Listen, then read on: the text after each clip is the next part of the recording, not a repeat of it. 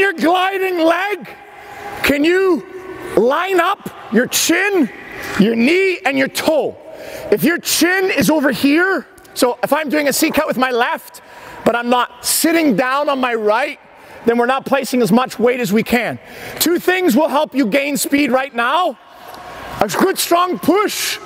Yes, we need to sit down on this leg, but also lean. Lean into your turn a little bit.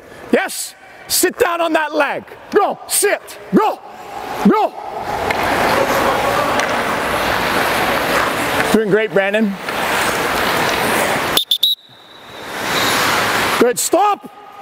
Watch. Can everyone back up around center right circle? Thanks. Watch. Hey, instead of my belly button facing forwards, watch.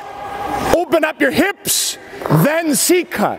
When you open up your hips, watch your belly button and your toes will really quickly look at the center ice circle. You stay wide and then bust out a C cut. So watch, instead of this, now open up your hips, C cut. Watch my arms. Open up your hips, C cut. Our C cut will be bigger and it's gonna be stronger. Go.